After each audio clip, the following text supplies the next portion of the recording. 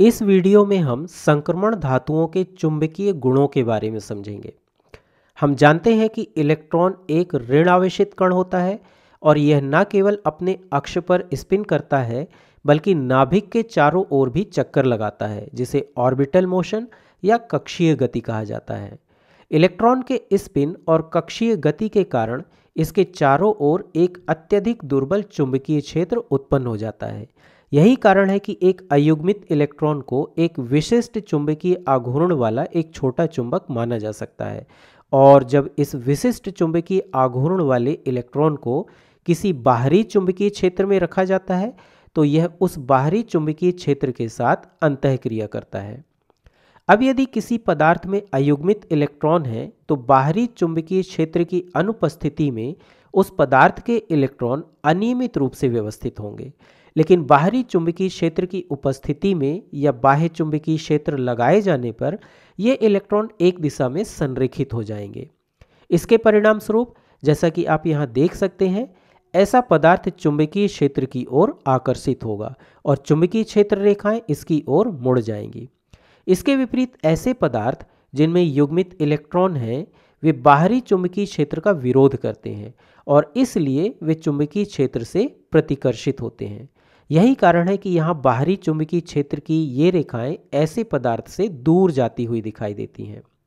यहाँ पहले प्रकार के पदार्थों को, यानी जिनमें अयुग्मित इलेक्ट्रॉन होते हैं और जो चुंबकीय क्षेत्र की ओर आकर्षित होते हैं, ऐसे पदार्थों को पैरामैग्नेटिक मटेरियल्स, यानी अनुचुंबकीय पदार्थ कहा जाता है। और दूसरे प्रकार के पदार्थों को, जिनमें युग्मित इलेक्ट्रॉन होते हैं और जो चुंबकीय क्षेत्र से प्रतिकर्षित होते हैं, उन्हें डायमैग्नेटिक यानी प्रतिचुंबकीय पदार्थ कहा जाता है। लेकिन इन दोनों के अलावा एक अन्य प्रकार के पदार्थ भी होते हैं, जिन्हें फेरोमैग्नेटिक यानी लौह चुंबकीय पदार्थ कहा जाता है। और ये ऐसे पदार्थ होते हैं, जो चुंबकीय क्षेत्र की ओर अत्यधिक प्रबलता से आकर्षित होते हैं। जैसे आयरन, कोबाल्ट और निकल लौह चुंबकीय पदार्थ होते हैं। हम यह भी कह सकते हैं कि लौह चुंबकत्व वास्तव में अनुचुंबकत्व का ही एक चरम रूप होता है और इन तत्वों के यौगिक चुंबकीय क्षेत्र की अनुपस्थिति में भी चुंबकीय गुण प्रदर्शित करते हैं। यही कारण है कि ये पदार्थ स्थायी चुंबक का निर्माण कर सकते हैं। अब चूँकि संक्रमण धातुओं में बड़ी संख्या में अयुग्मित डी इलेक्ट्रॉन होते हैं, इसलिए इस वीडियो में हम मुख्य रूप से संक्रमण धातुओं द्वारा प्रदर्शित अनुचुंबकत्व के बारे में चर्चा करेंगे। अब जैसा कि मैंने पहले बताया, अनुचुंबकत्व अयुग्मित इलेक्ट्रॉनों की उपस्थिति के कारण उत्पन्न होता है। हम जानते हैं कि प्रत्येक इलेक्ट्रॉन का अपना स्वयं का एक चुंबकीय द्विध्रुव आघूर्ण होता है। किसी एकल इलेक्ट्रॉन का स्पिन, जिसे क्वांटम संख्या एमएस द्वारा दर्शाया जाता है, यह प्लस हाफ़ या माइनस हाफ़ हो सकता है। और जब इलेक्ट्रॉन युग्मित होते हैं तो उनके स्पिन भी अप्रभावी हो जाते हैं। इसका मतलब युग्मित इलेक्ट्रॉनों के द्वारा उत्पन्न चुंबकीय क्षेत्र एक अयुग्मित इलेक्ट्रॉन के द्वारा उत्पन्न चुंबकीय क्षेत्र की तुलना में बहुत कम होता है और इसलिए अयुग्मित इलेक्ट्रॉनों की संख्या जितनी अधिक होगी, अनुचुंबकीय प्रभाव भी उतना ही अधिक होगा। थ्री श्रेणी की संक्रमण धातुओं के यौगिकों में चुंबकीय आघूर्ण का निर्धारण मुख्य रूप से केवल इलेक्ट्रॉनों के स्पिन के आधार पर होता है।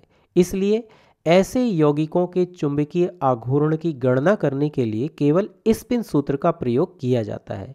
और यह सूत्र है mu is equal to under root of n into n plus two जहाँ एन अयुग्मित इलेक्ट्रॉनों की संख्या है और म्यू चुंबकीय आघूर्ण है, जिसकी इकाई बोर मैग्नेटॉन है।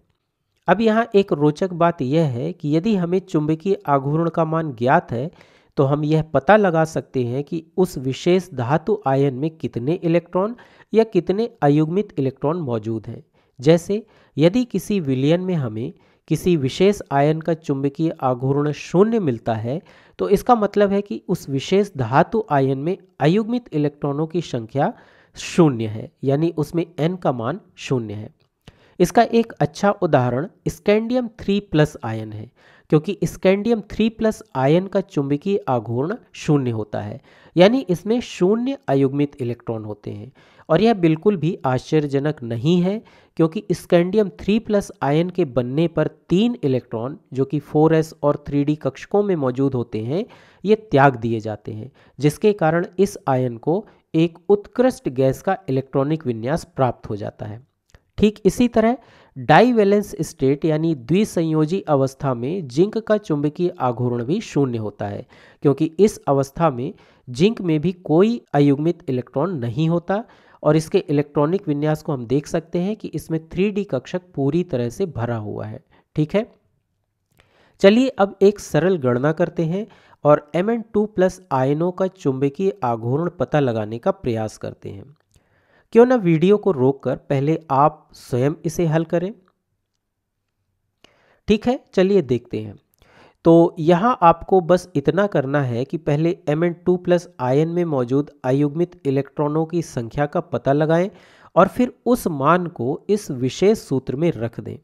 अब चूँकि एम टू प्लस आयन का इलेक्ट्रॉनिक विन्यास आर्गन थ्री होता है इसका मतलब इसमें कुल पाँच अयुग्मित इलेक्ट्रॉन हैं, इसलिए यहाँ एन का मान पाँच होगा।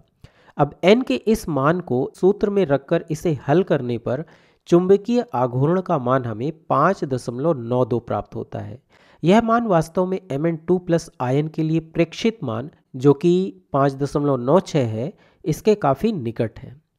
इसी तरह हम इस विशेष सूत्र का उपयोग करके अन्य संक्रमण धातु आयनों के लिए भी चुंबकीय आघूर्ण की गणना कर सकते हैं। अब यदि हम 3D श्रेणी के तत्वों के कुछ आयनों के चुंबकीय आघूर्ण की प्रवृत्ति को देखें तो हम देख सकते हैं कि जैसे जैसे हम श्रेणी के मध्य की ओर जाते हैं, चुंबकीय आघूर्ण का मान बढ़ता जाता है। यानी मैग्नीज तक चुंबकीय आघूर्ण का मान बढ़ता जाता है और ऐसा इसलिए है क्योंकि यहाँ अयुग्मित इलेक्ट्रॉनों की संख्या बढ़ रही है। लेकिन इसके बाद चुंबकीय आघूर्ण का मान घटने लगता है क्योंकि अयुग्मित इलेक्ट्रॉनों की संख्या घटने लगती है। यहाँ ध्यान रखें कि चुंबकीय आघूर्ण के ये मान वास्तव में परिकलित मान हैं। लेकिन यदि हम इनकी तुलना प्रायोगिक मानों या प्रेक्षित मानों से करें तो आप देख सकते हैं कि परिकलित मान प्रायोगिक मानों के बहुत निकट हैं। हम उप सहसंयोजी रसायन विज्ञान की अगली इकाई में संक्रमण धातु आयनों के चुंबकीय गुणों के बारे में और अधिक जानकारी प्राप्त करेंगे।